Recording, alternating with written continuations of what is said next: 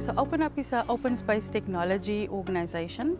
We are very citizen centric and we want to reach out to communities because our three goals are to inform, empower and activate and uh, through data and technology.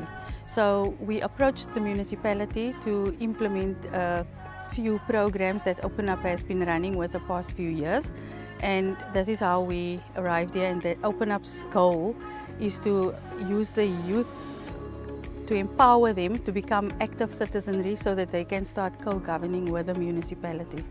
Foremost, you know, for I think the youth must be made aware of the opportunity, opportunities that there are for them. Um, and, you know, us being a rural municipality, uh, far away from the cities and all of that, youth are not normally aware, you know, that there are opportunities out there. If your dad was a fisherman, you don't have to be a fisherman as well. Your dad was working on a farm, you don't have to work on the farm as well. So we want to open up uh, Cape Agulhas for them so that they know that there are opportunities out there um, and that they become economically active.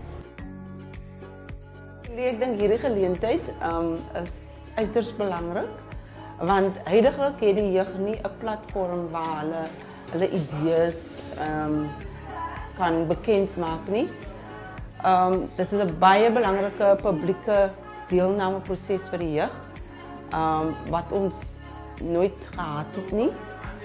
En dit gaan een ware weergave geven van wat de jeugd eigenlijk wil hebben moet gebeuren in de toekomst. Um, ehm, over hoe jeugdontwikkeling gedoen moet worden. Ik ek het nog nooit saam met ander groepe en so gepraat nie, maar dit was baie lekker. Die aktiwiteite en goede wat ons gedoen het was lekker.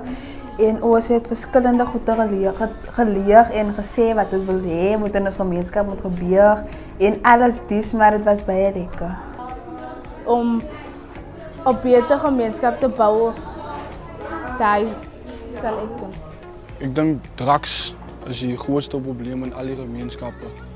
Want dit is eintlik 'n probleem wat almal se lewens beïnvloed en wat mense se gesinne en gemeenskappe te mekaar maak.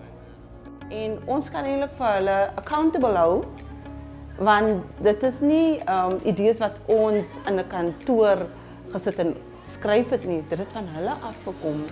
En so ons kan teruggaan en sê kyk guys, julle het vorendag gekom met hierdie idees. So ons gaan vir julle help om uitvoering te gee aan die idees.